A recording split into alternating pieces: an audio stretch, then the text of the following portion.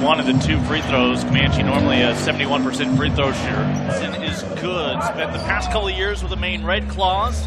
His seventh professional season overall out of Oregon State for the 28-year-old native of Jamaica. The hustle again. They've had their struggles this year, but not last night. A buzzer beater on a layup from Marquis Teague to avoid an overtime. Out of that, his uncle was Dennis Johnson, the late great former NBA champion.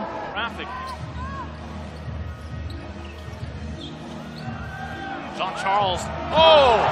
How about the moves from the big man? It's your lone NBA player on display this evening on assignment from the parent club. And Livio Jean Charles now with 12 points. The white uniforms tonight could be signed by any team in the NBA. White late dish flush through by Jean Charles for White. His third assist matched up with a 6-2 Teague.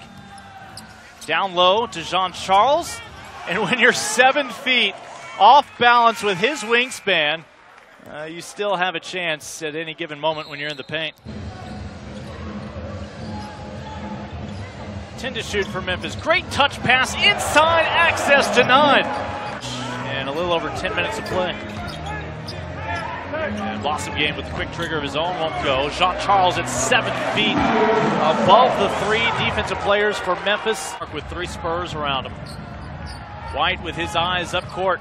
Lobs up to Jean Charles. Derrick White getting his teammates involved. Timeout. Glynn Cyprien and Memphis.